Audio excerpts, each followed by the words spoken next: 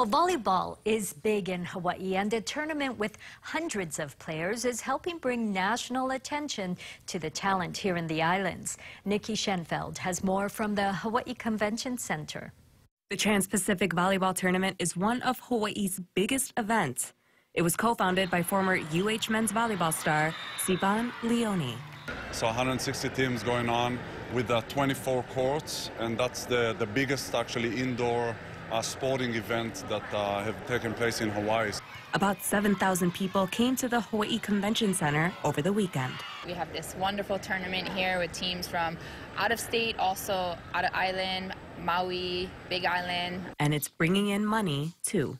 The traffic coming in, the excitement through that, and parking being sold out before 8 o'clock, the concession constantly packed throughout the day, the foyer packed like thousands of people before the doors open. So you're talking about economical impact.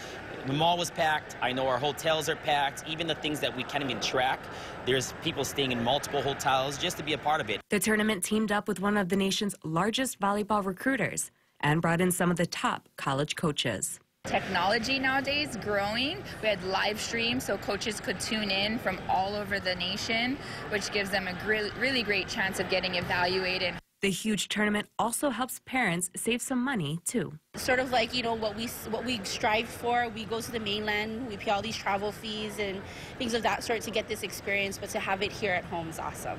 And it's only going to get bigger. Next year, we're planning to hit marks of like 200 teams, and from international and the national levels. The continued growth shows just how beloved the game of volleyball is here in the islands.